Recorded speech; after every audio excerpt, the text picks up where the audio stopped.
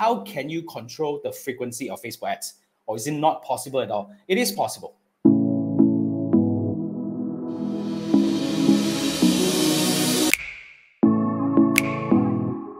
But let's talk about the best frequency for campaign structure. So first we have the top of funnel.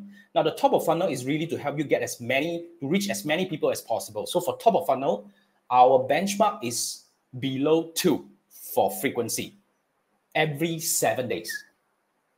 Ah, if you go for 30 days, then of course it might be higher than two. But seven days below two, that's good. Now, when it comes to retargeting, meaning these are the people that are already interested in your business or visited your website and whatnot. So we want to have higher frequency. So let's say if you're targeting people who visited your website in the last seven days, um, our target frequency is three to five, because that's where we come in for the money. You see, I know you are here now. I want to actually convince you. You know, I want to corner you with more ads, and you know, really to convince you to take the next step. So we have a frequency of three to five. Now, how do you control frequency? For top of funnel, the best way to control frequency is to apply audience exclusion. As in, like you may want to push those people who have visited your website out. You know, some may even go by, you know, watch your video to push out.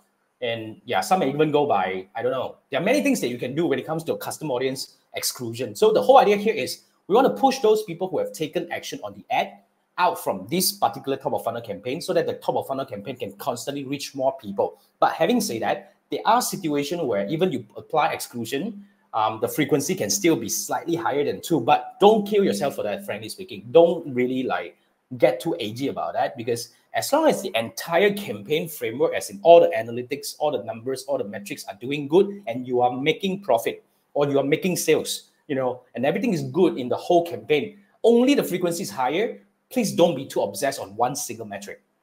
That's what I think. You know, because there are audiences like, for example, there's always a student come back to me and always ask the same question, Jason, how do I bring down my CPM? How do I bring down my CPM? It's meaningless. Okay, the importance of un- understanding the metrics is to know the usage of it and the you know the, the benchmark of it and to help you make decision, not to make yourself too obsessed on one thing. So that's one part. So when it comes to the top of funnel, that's how you control the frequency. The best way is to apply exclusion. Now, when it comes to retargeting, um, the best part, the best way to control your frequency is to adjust your budget.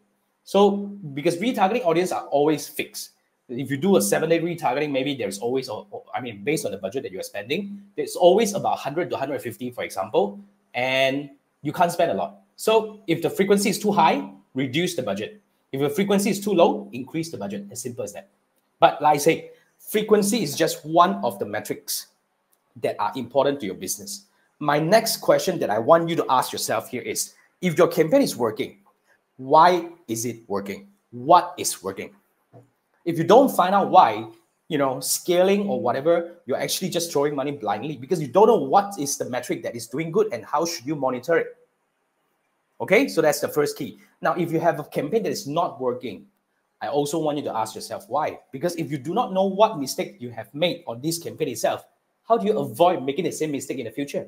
It's gonna be the same, you know, all over again. Not working. Let's restart. But what? What? What changed? It's the same thing, different creative. But really, was it a creative problem? So the next thing I really want every advertisers to learn after launching a campaign is to analyze your campaign. You want to know what's working, what's not working. How do you understand the metrics? What are the metrics to track? You know, how do you plan optimization plan? So if that's something that you want, scan this QR code, buy me a dinner. First, I would actually build you a dashboard that is truly belong to your business because every business has got different metrics to track. I'll build a dashboard with a sequence of things and I will help you understand the metrics by analyzing for you with you on the Zoom call itself.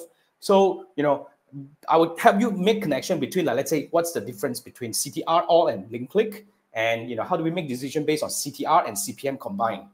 You know, how do we know whether we should actually tweak the creative or should we actually test different audience?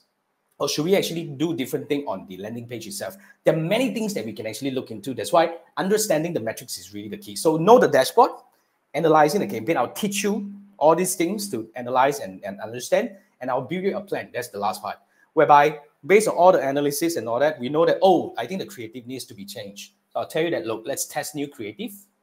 Okay, so that's the first step. Now, if it works, then the next thing is probably you want to consider switching a little bit on your, tweaking a little bit on your landing page because it's not getting enough people or, you know, like there are lesser people taking action on the next step. There are something that we can actually try to optimize on that part. So that's something that you can do. So yeah. So really, if you run ads, you need to do this to, do this with me. First, build a dashboard for a business, learn how to analyze, and build a plan to take your campaign to the next level. So scan this QR code, and I look forward to work with you.